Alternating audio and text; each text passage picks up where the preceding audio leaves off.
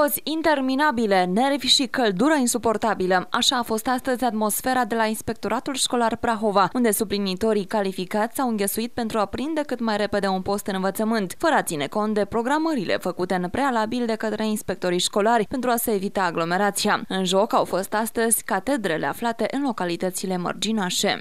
Astăzi avem uh, în cadrul etapei acestea de repartizare a suplinitorilor, că sunt suplinitori toți, dar toți sunt calificați, nu este vreunul necalificat.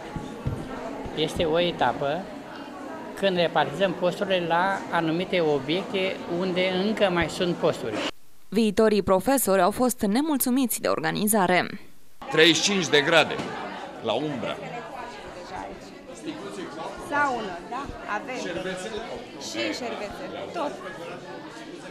Nu, e, cum să ne dea inspectoratul? Astea sunt condițiile. Asta, dacă se poate numi condiție. Eu nu știu dacă așa ceva, adică pentru un tânăr care studiază și se numește intelectual, astea sunt condiții umane, poți să zici, dacă sunt umane. Dar la ce anume vă referiți? Organizarea care se vede, nu? Da. Ore pierdute de stat pierdut și... Da. Pentru ce? Pentru simple hârtii. Na. Pentru un salariu de... Să știe, minim pe economie. Sunt foarte mulți oameni înăuntru, ați auzit și părerea unei doamne profesoare, care normal că nu e mulțumită. Astăzi e anunțat în, în Ploiești peste 35 de grade, la umbră. Oamenii ăștia sunt colegi de-ai noștri. Se bat aici pentru ce a rămas după ce a fost repartizarea la română.